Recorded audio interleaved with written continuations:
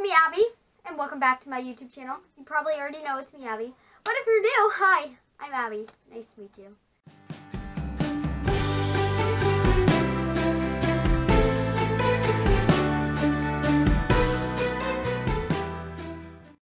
So I'm doing something really different today. And because I was doing something different, I kind of changed up something.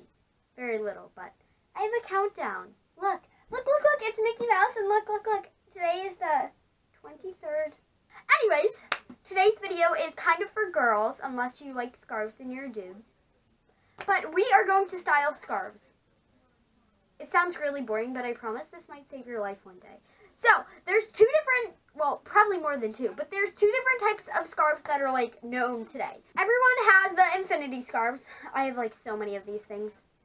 Infinities are very common and very easy to style. But today I thought I would focus more on scarves that are not infinity scarves. What are these called? I, I have no idea what these are called. And some of us will just get lazy and like tie them to make an infinity. Am I the only one that does that? Because I do that like all the time. Now scarves are like incredible inventions and I love scarves because they kind of go with anything. They can spice up any outfit you can imagine. They can spice up outfit. Watch. Well, this is an infinity, but still.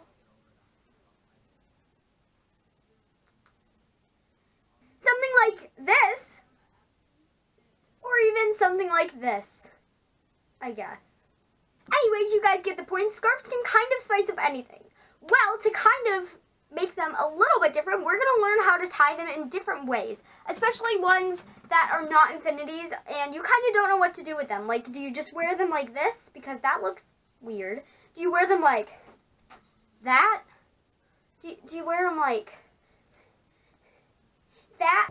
Anyways, so today I'm going to teach you how to spice up your ways to wear scarves. So let, us get started. Okay, so the first thing we're going to start with is called the embellished snood. It's a little weird. You guys are wondering why it's called the embellished snood.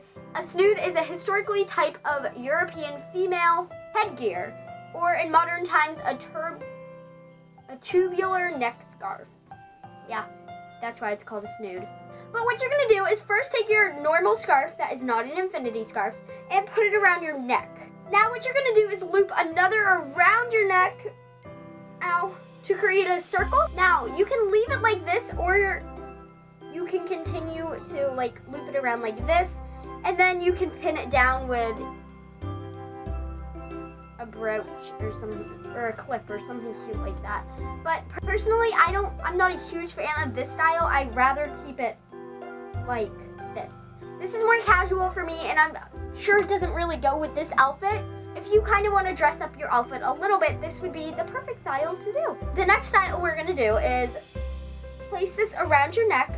Then you're going to cross one piece over the other, fold under it like this, come out and then pull tight, it says. So then we're going to repeat that last step to create a knotted look. So just fold it back under and out. Then you can leave it like this. Uh, again, I'm not a huge fan of this, but I'm sure if it's a shorter scarf, it might look much better. So, the next thing we're going to do is called the Twisted Waterfall. And we are going to grab the scarf by both ends and create a loop at one end. Now, instead of putting this around my neck, I'm going to twist the scarf. Now I'm going to pull these loose ends from in here. And then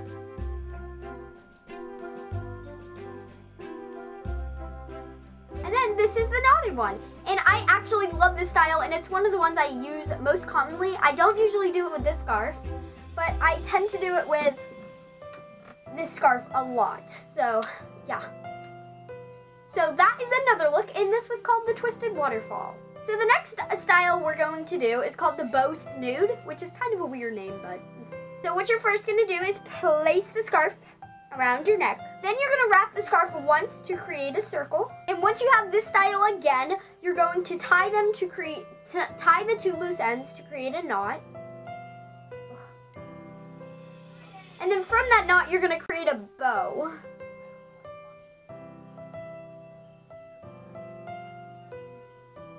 Um. Um,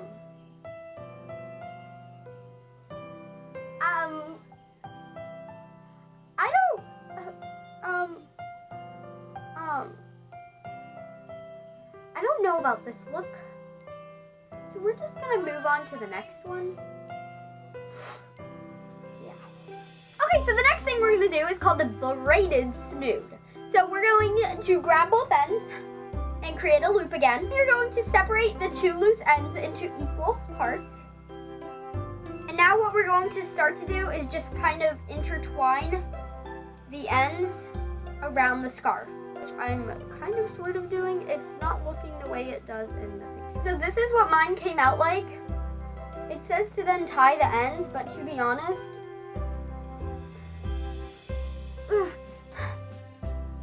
it's too small. Okay, we're done with that tutorial. So, I hope you enjoyed this video a little bit. Scarf thing didn't really work out, but still, this is a Christmas video, and I hope you enjoyed it a little bit. All of the ties of the scarves I got from Charming Charlie's. They gave me this piece of paper, and I said I would follow it. Didn't really work that well. And the scarf I used was also from Charming Charlie. So shout out to Charming Charlie's. They're amazing. And even though their styles didn't work for me, I'm sure they'll work for everyone else out there that knows how to style a scarf. So, again, thank you for watching. I hope you enjoyed this video. Remember to like this video if you enjoyed it. If you're new to my channel, welcome. Click the subscribe button right up there and please join our lovely squad. So, I love every single one of you. Stay my lovelies and have a fantabulous day.